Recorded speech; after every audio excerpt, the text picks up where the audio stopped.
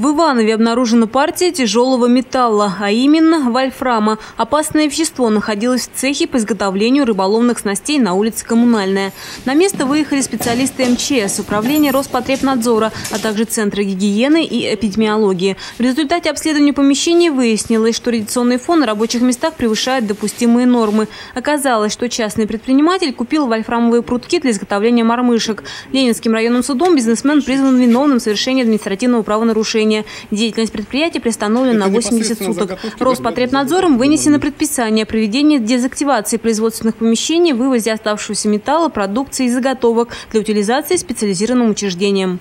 В настоящее время цех опечатан и работа приостановлена до выяснения обстоятельств. Часть э, материала взята на исследование.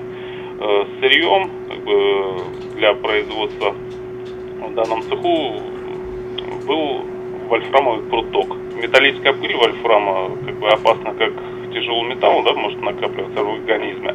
А радиоактивное, естественно, вызывает как бы, дополнительные ну, негативные изменения, то есть свойственны, допустим, хроническому облучению. То есть с течением длительного периода времени у лиц, которые работали э, с данным материалом, как бы, могут развиться определенные заболевания.